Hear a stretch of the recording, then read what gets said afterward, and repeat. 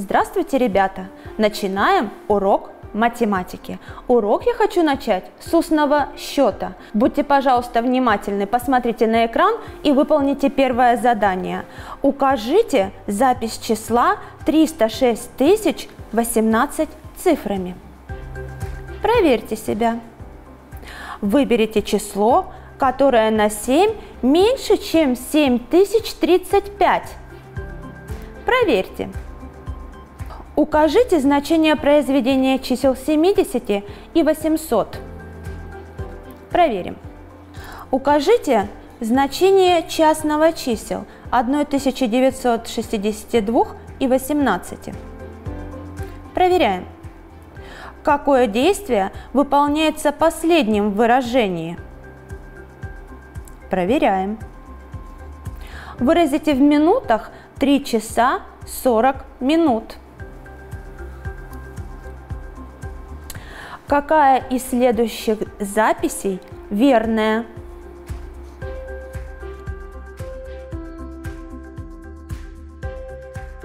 Укажите длину стороны квадрата, площадь которого равна 16 сантиметрам квадратным.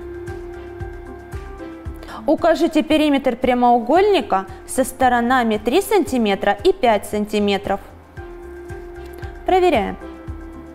Чему равно частное чисел 856 и 214? Молодцы! Ребята, выполняя данные задания, что-то было для вас новым и неизвестным? Конечно же, ничего нового вы не услышали. Все задания вы выполняли неоднократно на уроках математики. Тема нашего сегодняшнего урока – письменное деление на трехзначное число, решение задач на нахождение площади и периметра, закрепление. Вначале вспомним алгоритм деления на трехзначное число – найти частное чисел 8184 и 341. Определяем количество цифр в частном. В частном, ребята, у нас будет две цифры, так как первая цифра делимого больше первой цифры делителя. Первая неполная делимая 818. Представим делитель 341 в виде круглого числа. Это будет число 300. 300 – это произведение чисел 100 и 3. Разделим 818 на 100 и на 3. 818 разделив на 100 мы получаем 8. 8 делим на 3. Ближайшее число к 8, которое делится на 3 – 6. Делим 6 на 3, получаем 2. Записываем цифру 2 в частное. 2 – это пробная, ребята, цифра. Умножаем цифру 2 с делителем. Получили число 684. Находим остаток. Остаток, ребята, меньше делителя, значит цифра 2 нам подходит. Мы оставляем ее в частном. Сносим следующую цифру, цифру 4. Второе неполное делимое 1364. Делим на 100 и на 3. Получаем 4. Проверяем. Умножаем 4 с делителем. В ответе получаем 1364. Значит, цифра 4 нам подходит. Оставляем ее в частном. Деление окончено. Частное чисел 8184 и 341 равно 24. А теперь, ребята, Давайте вспомним, что такое периметр. Периметр – это сумма всех длин сторон многоугольника. Периметр обозначается латинской буквой P. Измеряется в миллиметрах, сантиметрах, дециметрах, метрах, километрах. Ребята, для того, чтобы найти периметр, нам необходимо знать длину и ширину. Складывая между собой все стороны, мы можем найти периметр. Ребята, как же найти периметр прямоугольника? Для того, чтобы найти периметр прямоугольника, надо сложить между собой все его стороны. Либо действием умножения сложить противоположные стороны и умножить сумму на 2. Как найти периметр квадрата? мы можем сделать это аналогично, сложить между собой все его стороны, а можем заменить действием умножения, умножить одну из его сторон на 4. Как же найти периметр треугольника? Мы можем сложить все его стороны между собой. Ребята, а сейчас посмотрите на экран и выполните практическое задание. Подумайте, чему равен периметр этих фигур. Периметр первой фигуры равен 160 сантиметрам. Периметр второй фигуры равен 180 сантиметрам. Ребята, а что же такое площадь? В чем ее измеряют? Площадь фигур измеряют единичными квадратами. Площадь фигуры равна числу единичных квадратов, составляющих фигуру. Площадь квадрата со стороной 1 см равна 1 квадратному сантиметру. Площадь обозначается латинской буквой S. И измеряется, ребята, напомню, в квадратных миллиметрах, в квадратных сантиметрах, в квадратных дециметрах, в квадратных метрах, в квадратных километрах. Ребята, что такое площадь? Площадь – это то, что находится внутри. Для того, чтобы вычислить площадь, нам необходимо длину умножить на ширину. Рассмотрим примеры. Площадь прямоугольника со сторонами 2 и 3 сантиметра. Это очень важно знать для того, чтобы найти площадь. Умножим 2 на 3. Получаем в произведении 6 сантиметров квадратных. Найдем площадь квадрата со сторонами 3 сантиметра. Для этого 3 умножим на 3. Получим 9 сантиметров квадратных. Площадь равна 9 квадратным сантиметрам. Сегодня на уроке мы повторили, как выполняется деление на трехзначное число и как вычислять площадь и периметр фигур. Для закрепления я предлагаю выполнить вам следующее задание. На странице 75 выполнить задание 304 и решить задачу под номером 307.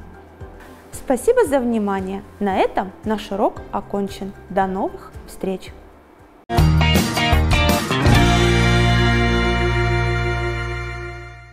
Здравствуйте, ребята! Сегодня мы с вами проведем урок русского языка для четвероклассников – Тема урока – повторение изученного за год, язык и речь. Сегодня на уроке мы с вами определим значение языка в нашей жизни, вспомним, что такое речь, какой бывает речь, закрепим понятие диалог и монолог, повторим правила записи диалога. Начнем урок словами Константина Паустовского о русском языке. Нам дан во владение самый богатый, меткий, могучий и поистине волшебный русский язык. Без языка невозможна жизнь человека, людей, общества, развитие науки, техники, искусства. Значение языка отмечают русские пословицы и поговорки. Мал язык, да всем телом владеет, без языка и колокол нем, от доброго слова язык не сохнет – не всегда легко выразить свою мысль ясно, точно и образно. Этому нужно учиться, учиться упорно и терпеливо. Писатель Алексей Николаевич Толстой говорил, обращаться с языком кое-как значит и мыслить кое-как, не точно, приблизительно, неверно. Формы речи. Устная, говорение-слушание, письменная – чтение и письмо и внутренняя речь, наши размышления. Устная речь может быть выражена в форме монолога и диалога. Что такое монолог и диалог? Монолог от греческого слова «монос» – «один», «логос» – «речь». Это речь одного говорящего. Диалог от греческого слова «ди» – «два», «логос» – «речь». Это речь двух говорящих. Диалог – это речь, когда активно поддерживается собеседником, и она свернута, так как в ней многое подразумевается в силу знания и понимания ситуации партнером. А монолог – это речь одного человека. Он говорит, а другие слушают. К этому виду речи относятся разнообразные выступления одного лица перед аудиторией, лекция, отчет, речь учителя, сообщение, речь депутата, монолог актера. Монолог – речь непрерывная и не поддерживаемая слушателями. Прочитаем отрывок из стихотворения. Кто автор данных строк? Может ли назвать этот разговор по телефону диалогом? У меня зазвонил телефон. Кто говорит? Слон. Откуда? От верблюда. Что вам надо? Шоколада. Для кого? Для сына моего. А много ли прислать? Да пудов это пять или шесть. Больше ему не съесть, он у меня еще маленький. Верно, это сказка «Телефон». Она знакома каждому ребенку. Автор этой сказки Корней Иванович Чуковский. Будучи многодетным отцом, он написал ее для своих детей, но и другим ребятам сказка очень понравилась. И теперь с удовольствием ее рассказывают и взрослые, и дети. В сказке Корней Иван Чуковский говорит с разными животными по телефону. Этот разговор можно назвать, верно, диалогом. Повторим правила записи диалога. Слова каждого лица называются репликой – Каждая реплика говорящего записывается с новой строки. В начале строки перед каждой репликой говорящего ставится тире. Подведем итог. Язык и проявление языка, речь играют важную роль в жизни общества. Виды речи – устная, письменная, внутренняя. Устная речь может быть выражена в форме диалога и монолога, при записи диалога нужно соблюдать правила. Домашнее задание. Вам нужно будет составить диалог на тему «Помощь маме». На этом наш урок заканчивается. Спасибо за внимание.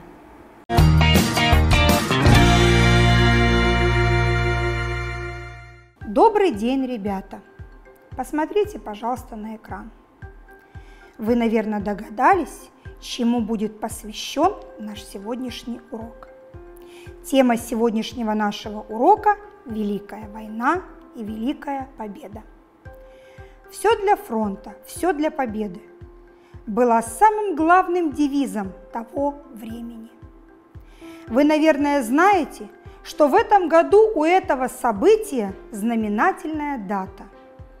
Исполняется 75 лет Великой Победе – Давайте вспомним страницы этой истории.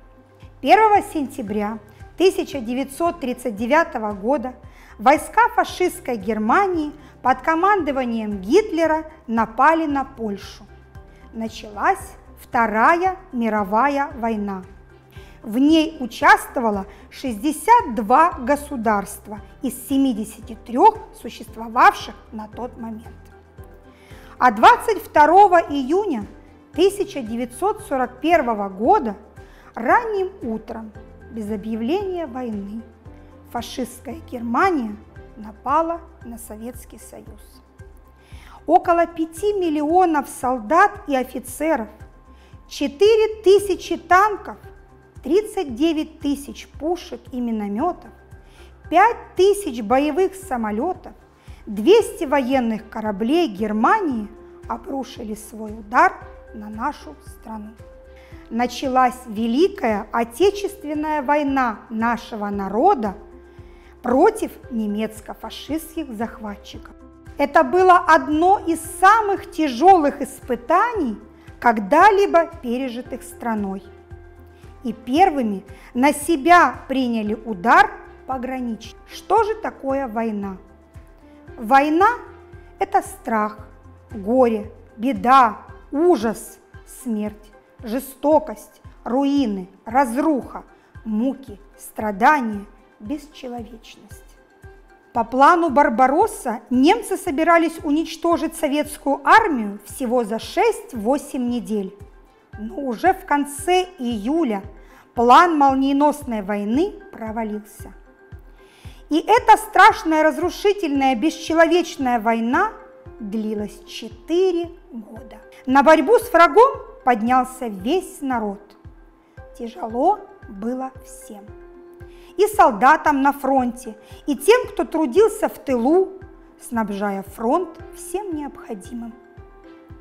1418 дней и ночей бушевал огонь войны, убивая людей и уничтожая все, что было создано их трудом. Десятки миллионов сыновей и дочерей потеряла наша Родина-Мать. Нет семьи, которой не коснулась бы война. За годы войны в СССР было разрушено 1710 городов, более 700 тысяч деревень, 32 тысячи заводов и фабрик. В некоторых городах война была очень жестокой.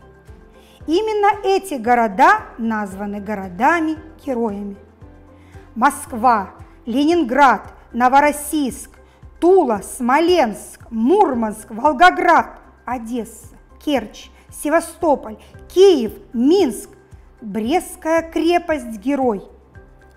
Все для фронта, все для победы. Судьба страны решалась на полях сражений. Люди трудились без устали, чтобы фронт получил новейшее оружие, автоматы, самолеты, танки. Давайте вспомним, как это было. Сентябрь. Враги окружили Ленинград. Блокада длилась 900 дней и ночей. Октябрь. Враги подошли к Москве. Начало 1942 года. Советская армия перешла в наступление. Победа под Москвой. Лето 1942 года. Бой за Сталинград. Ноябрь 1942 года разработан план наступления в районе Сталинграда. Начало февраля 1943 года немецкие войска были окружены и сдались в плен. Лето 1943 года – сражение под Курском. Победа под Курском стала началом крупного наступления советской армии. 1944 год – освобождение территории Советского Союза от немецких захватчиков советские войска вышли к германской границе. Апрель 1945 года. Штурм Берлина, столицы фашистской Германии. 9 мая 1945 года. Красное знамя Победы развивалось над зданием Рейхстага, парламента. Этот день стал Днем Победы в войне с фашистской Германией. Советский народ в Великой Отечественной войне над германскими захватчиками вышел победителем. Во многом благодаря массовому патриотизму, самоотверженности множества людей. Мы победили, но какой ценой? Страна потеряла свыше 26 миллионов человек.